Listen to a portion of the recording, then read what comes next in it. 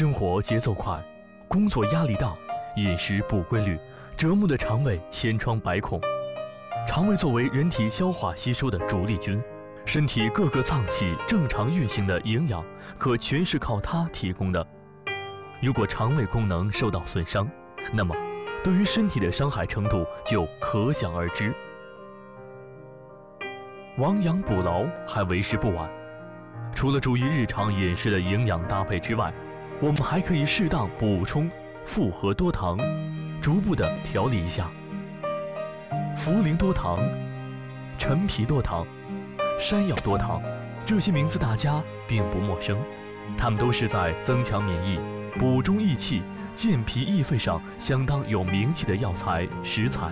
但是，其激活人体免疫系统的途径和机理并不一致，并且效果也存在差异，因此，他们各自单独行动是有一定局限性的。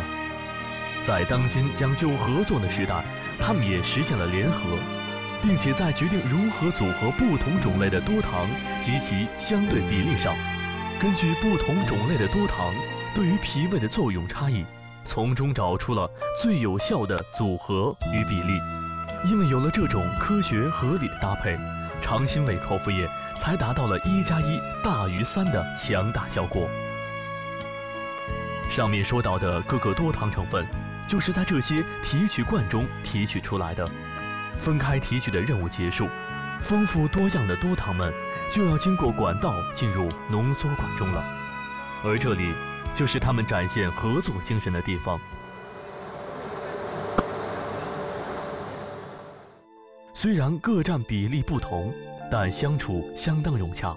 在共同经过高温考验出来后，体积虽然小了不少，但是团队的力量却直线上升。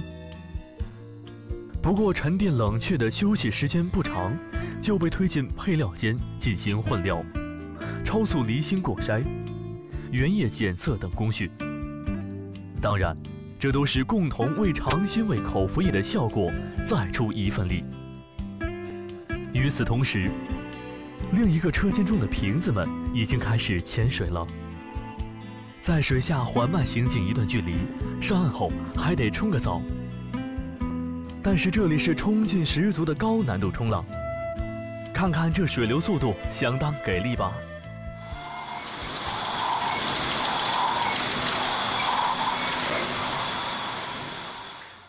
水洗干净，还得将身上的水分烘干。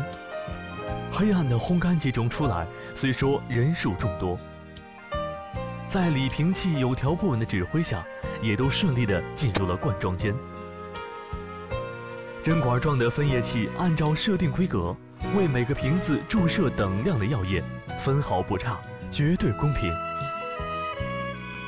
接着，心满意足的瓶子扣上盖子。大摇大摆地进入了灯检室。来到这里的瓶子相当听话，因为这可是决定他们前途命运的转折点。上下左右、前前后后，每个细节都不会被放过，所以能从这里出去的瓶子，那才是笑到了最后。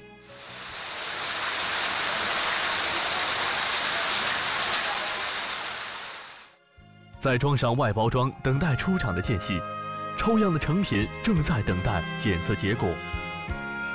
滴答，滴答，滴答，检测结果合格，这一批次的口服液可以放心出厂了。